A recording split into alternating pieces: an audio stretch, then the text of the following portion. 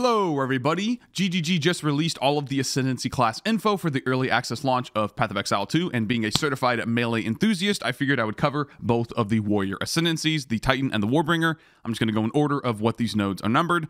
Let's give a full breakdown and try to give you my thoughts on their overall power. So, starting with Stone Skin, 50% more armor from equipped body armor it remains to be seen how useful this is going to be. We don't know the new formulas for everything, like how much does your armor reduce the physical damage taken. We do know, however, that armor does now apply to all physical damage. Before, in Path of Exile 1, it only applied to hits of physical damage. Now, it applying to everything means damage over times, like bleeds, uh, maybe corrupted blood if it still exists. Uh, those things will now be reduced by your armor as well, which is pretty interesting. But for a single pointer and it doesn't go anywhere, I don't see a lot of people taking this unless there's like some niche armor stacking build out there. Number two, Earthbreaker, 20% chance for slam skills you use yourself to cause aftershocks. And right here, an aftershock is a burst of area damage occurs at the initial impact, and the aftershock will deal the same damage as the initial impact in the same area. Now, I don't know how many aftershocks you can have. I don't know if there's a cap. I don't know if aftershocks can also aftershock. I doubt that's the case. But let's just say you hit the ground, if you have a 100% chance to cause an aftershock, you're going to get just one aftershock, even though it says cause aftershocks. So you can probably get above 100% to, you know, get a chance to do multiple aftershocks. It's probably how the mechanic works. I've not played the game hands-on. Someone can tell me in the comments if you guys have played or you've seen any anyone else play how it actually works. Anyway, I'm going to assume that this just means 20% more damage with a slam skill. It's that simple. Uh, so it says you use yourself because your totems are also going to be able to use slam skills. But, you know, provided that they're not a major DPS component of your build, they might be, actually. I don't know. We can just assume this is 20% more damage. Not terrible at all. Number three, Ancestral Empowerment. Every second slam skill that you use yourself, again, no totems, is ancestrally boosted. What is ancestrally boosted? 20% more damage and area of effect. Um, I don't know how I feel about this because I would much rather have this second note here right? Because this is 20% more damage in the vast majority of cases. But this one is a 20% more damage every second time. So, best case scenario, you have like a really fast attacking slam skill that you can get out of the way in like 0.1 seconds. That's not going to be the case, but let's just something that has like one third of the attack rate, the cast time of your actual damaging slam. So, use your damaging slam, it's ancestrally boosted, and then you use like your quick slam real, real fast just to get it out of the way, and then you go back to your big boy slam to get the ancestral boost again for only 20% more damage. So this is conditional 20%, and this is non conditional. So you can think of this one because it's every other as only like 10% more damage. I guess that's worst case scenario because that would assume that you're using the same slam skill one ancestral boost, one regular, one back to ancestral. That would be 10% more damage. Whereas if uh, again you have a like a fast attacking slam skill, it would be probably more than 10% more damage, maybe like 17% more damage, something like that. But in all for all intents and purposes, I think node number two, Earthbreaker, is better than Ancestral Empowerment. I don't really see. A, I guess you get the AOE boost from Ancestral Empowerment, which maybe there's going to be like a very significant use case for 20% more area of effect. Uh, we're not quite sure at this time, but I, I, don't see that node being like super, super, super crazy. So moving on, number four, colossal capacity. Carry a chest which adds 20 inventory slots. You just get 20 extra inventory space. I don't think that's a good node. I think this is total bait. Now the node behind it which is why this node probably exists in the first place. The node behind it, hulking form, has some very, very, very interesting uh, use cases. We don't know exactly what the passive tree looks like. This is the uh, closest example, closest example we have so far. I'll leave a link in the description to this.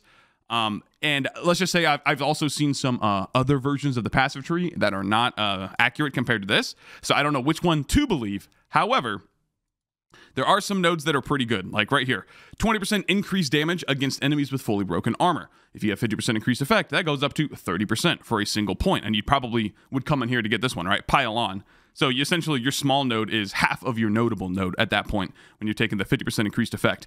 You also have like uh, stuff like plus one max resistance. I don't know if it would round up. I highly doubt that it would. In Path of Exile 1, most things round down. So if you have 1% and then you increase it by 50% of its value, it'd go to 1.5, but it would round back down to 1. Um, I'm assuming that's how it's going to work here in Path of Exile 2. If it doesn't, it's actually a massive, massive increase uh, to take that 50% more effect, right? Or uh, essentially a more effect. Uh, maybe we get, you know, other sources of increased effect of small notable skills somewhere or small passive skills somewhere. I'm not quite sure. In the attribute nodes here, I don't know if these would count as small passive skills. Um, in Path of Exile 1, they definitely do count, but now they're specifically called uh, like the attribute highway instead of like an actual passive node. But that's just one of those things that we have to get our hands on in Path of Exile 2 to truly see if that happens. But having 50%, you know, increased value of all the attribute nodes could be pretty interesting as well. So it remains to be seen in total how good hulking form uh, is going to be. I could see it being very, very, very good. Um, but also not the best, especially considering you have to go through number four, which essentially, you know, provides nothing. Come on, guy. Like, I know inventory space is cool and all, but come on, it's just quality of life. It doesn't actually do anything. It doesn't increase the power of your character, uh, at least as far as we know. Like, maybe we're going to add in some charm slots or something. But as of right now, uh, my conclusion would be that hulking form is something that the community will figure out later on once we have unique items rolling in and jewels and all this other stuff to build our character. Uh, I don't think early on in early, uh, I don't think at the start of early access it'll be very strong. All right, moving on to node number six, crushing impacts. Your hits are crushing blows. A crushing blow simply causes a heavy stun on anything that is primed for a stun. And you primed enemies for a stun by building up a bar, and at 40% of that bar, you can stun a normal enemy, 60% for a magic, 70% for a rare, and 80% for a unique. So you're not talking about like health remaining of the enemy or health that you've dealt damage. There's a separate meter under each enemy called a stun meter. And then as you're building that up through various means, when you hit them with a crushing blow and they are ready for a heavy stun, bam, they're going to be heavy stunned. And a heavy stunned enemy basically is totally immobilized. They cannot act, they cannot move, they cannot attack, you can't do anything. Also, it says here for a heavy stun, if you deal physical damage, and or should say and or melee damage each of them cause 50% more heavy stun buildup and they are multiplicative within one another. So basically if you're just playing a unga bunga big bonk build physical damage melee build that's the vast majority of what those are going to be you're going to be doing i think it's 125% more stun buildup if uh, my math is correct there. Because if you hit something normally for 100 stun buildup you do 50% more it's 150 but then it's multiplicative with the other 50% so you take 150 times 50% which is 75 225, so it's 1.25. Yeah, so you're doing 125% more heavy stun buildup, provided you're dealing both physical and melee damage simultaneously. So by itself, heavy stun is actually already pretty good, right? The enemy can't do anything. We don't know the duration. That's the only thing we're missing uh, information-wise here. If it's only like two seconds long, then it's not going to be amazing whatsoever. But let's just assume most heavy stuns are going to last like four seconds, five seconds. You probably get duration on the passive tree somewhere. And then on top of that, the next node, number seven, surprising strength, 40% more damage against heavy stunned enemies. Now, I see these being uh, pretty much taken on every single Titan build here. I don't really see why you wouldn't do that, because if you're going to play this guy, you're almost assuredly going to do it with a big, heavy bonk slammer jammer skill of some kind. AKA, you're going to be building up a lot of stun meter, and then crushing blows makes it way easier to stun the enemies. And on top of that, you get 40% more damage when they are heavy stunned. Numerically, these have the potential to be pretty dang strong, especially if there are other factors about heavy stun that we don't know about, like other nodes on the passive tree. Maybe a unique item gives you more damage or something like that. So the overall build potential of nodes six and seven, I think, are very high. It'll be kind of annoying to play around it, given that you're going to have to constantly like cycle one skill to just like build up the heavy stun meter. Boom, boom, boom. Be hitting them for not a lot of damage. Then they're primed for heavy stun. You heavy stun, and then you whack them with like Hammer of the Gods or whatever your biggest damage ability is is, and then you rinse and repeat. So that could get that playstyle could get a little bit annoying. And then number eight, mysterious lineage, uh, 15% more maximum life. Who doesn't like more life? Uh, me, actually. For one node, I don't, and it doesn't go anywhere. I don't really see a lot of people taking this. Uh, if you did not know, the passive tree in Path of Exile 2, as far as we know, has zero life nodes on it whatsoever. So you're getting all your life from other sources, mainly on your gear. There's probably going to be like obviously jewels uh, will give you some as well. Maybe you get like percent maximum life uh, quest reward options, something like that. I don't know. But on the passive tree, there is no increased maximum life.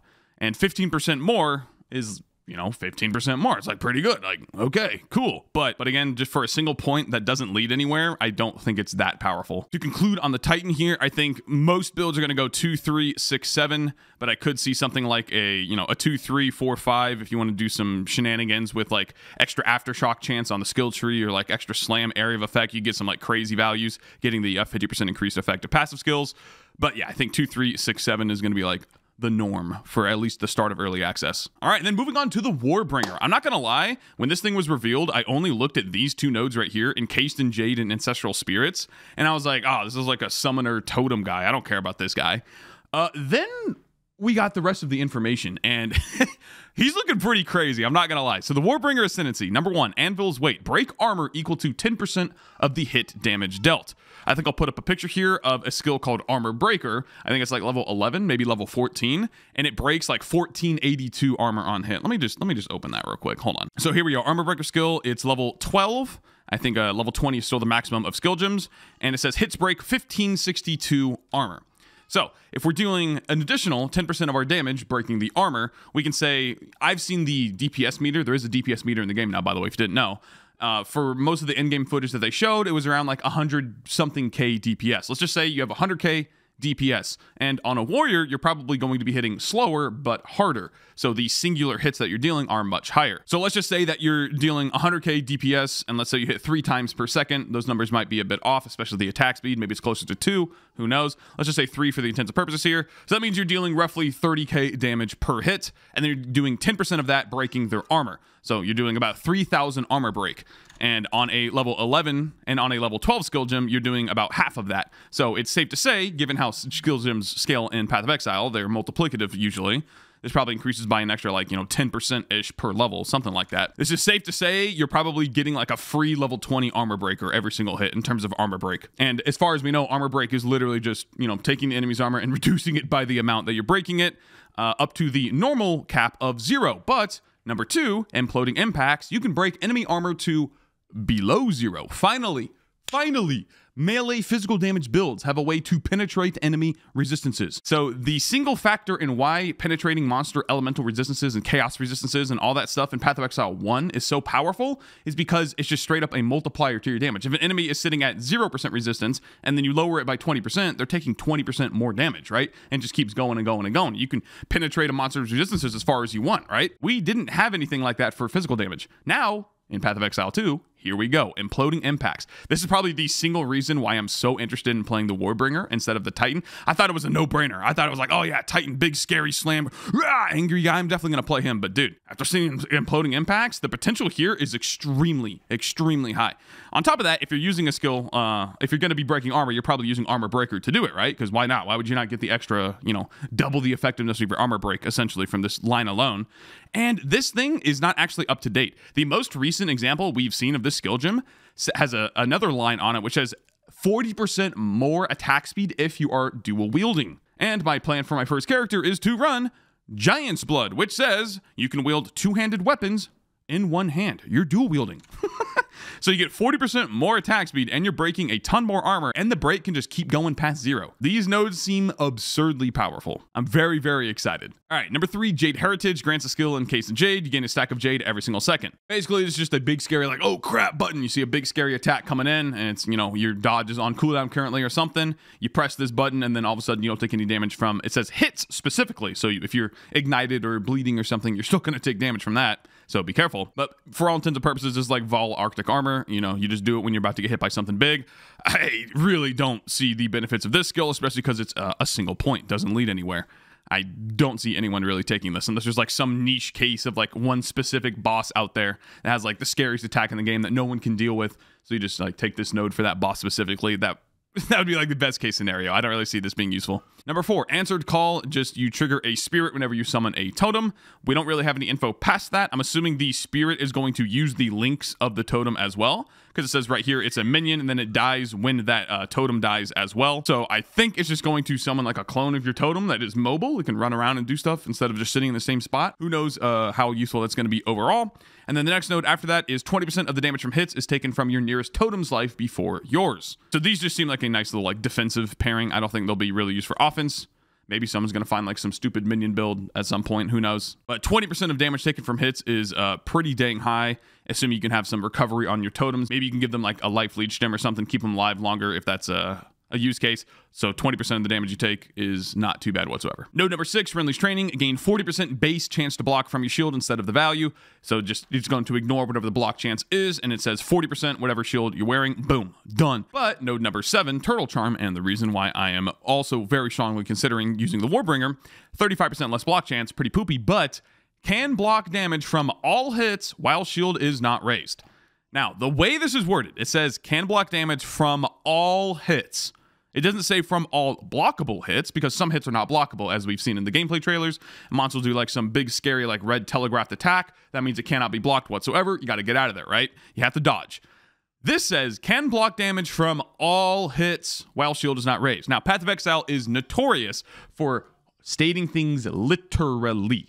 So it doesn't say from all blockable hits, from all like uh, relevant hits. It does not specify. It says damage from all hits.